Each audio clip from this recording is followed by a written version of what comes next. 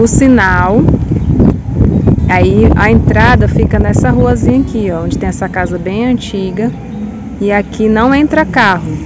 Você pode deixar o carro aqui no acostamento, de frente para a ruazinha, ou próximo à igreja. Ou você deixa aqui ó, o carro na rua da igreja, como eu fiz.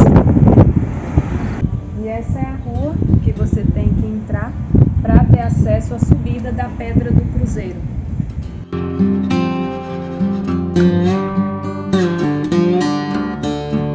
Vamos ver se essa subida é, é no grau fácil, médio ou difícil.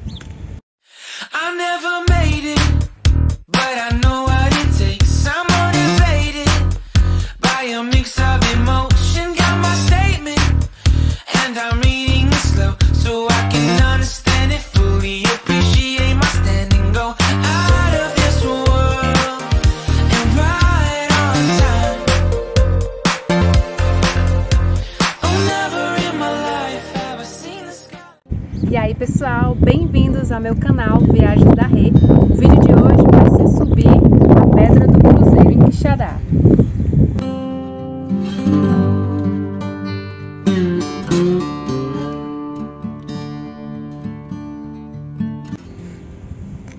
Eu acho que é difícil, né? Mas vamos ver.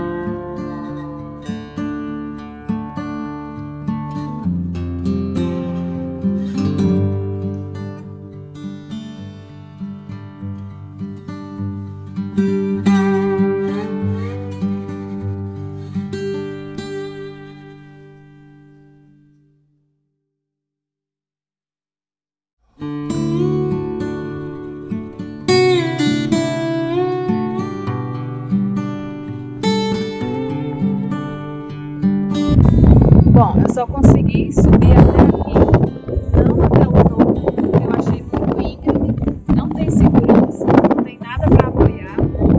E aqui é, é um lugar que eu não recomendo vir pela noite, tem fortes, mas a iluminação eu acho que não varia muito. Tem alguns que não tem lâmpadas, então é um lugar que eu recomendo vir pela manhã mesmo para aproveitar a luz do dia. Uma bela vista da